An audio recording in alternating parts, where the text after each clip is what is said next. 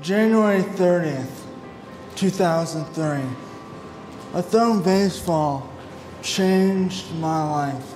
I was unaware that the ball from the outfield was already thrown. It was soaring high up in the air.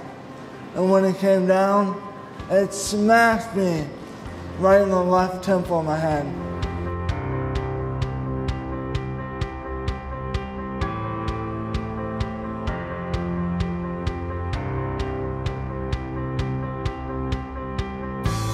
We're so thrilled with Austin's progress and, and how he has just pushed himself and started his own business and now speaking in front of crowds. And it's so fun to watch people's faces and light, you know, and, and sometimes cry, see them cry as they hear Austin's story. But when Austin, you know, flashes that smile, uh, it tends to be contagious. It's pretty obvious that there is success here.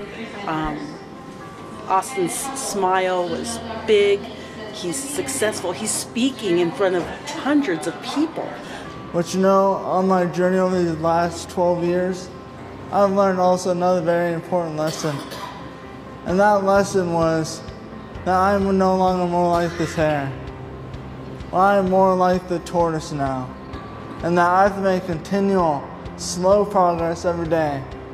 But I know if I work hard enough and I pursue what I'm going after, I can say that I crossed that finish line. So inspirational to see um, that other side where somebody gets better and they are speaking and they are productive and they have a wonderful life. And so it, it's just it's heartwarming. Um, it was a, a, just a, probably the best part of this conference definitely Austin's ability to be able to say what he does, it, it gives people hope because he, he, when he lived it, he experienced it. Uh, it was, it was traumatic.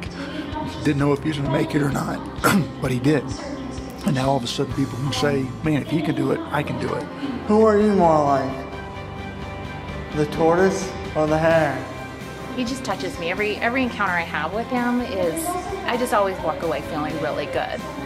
And lastly, just like that tortoise, he pushed himself. He knew what he wanted. He knew he wanted to finish that race. And didn't let the hare distract him either way.